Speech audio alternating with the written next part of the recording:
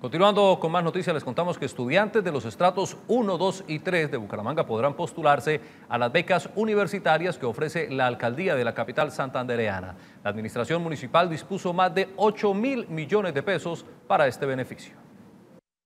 A partir del primero y hasta el 15 de diciembre se abrirán las inscripciones para acceder a las becas de educación superior de la Alcaldía de Bucaramanga. En la página de la Alcaldía de Bucaramanga va a estar publicada eh, y va a tener acceso la ciudadanía para que conozcan los requisitos y puedan hacer su inscripción en línea no se va a emitir ningún tipo de solicitud de manera eh, presencial.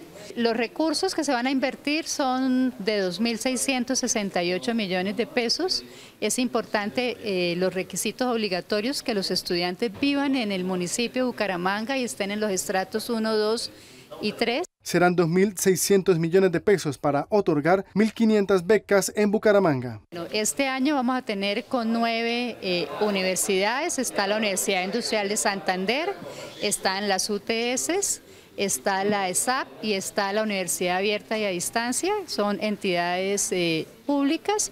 Y tenemos también con la Universidad Autónoma de Bucaramanga, con FITEC, con Uniminuto, los beneficiados serán estudiantes de estratos 1, 2 y 3 de Bucaramanga, con los mejores puntajes en el IFEX.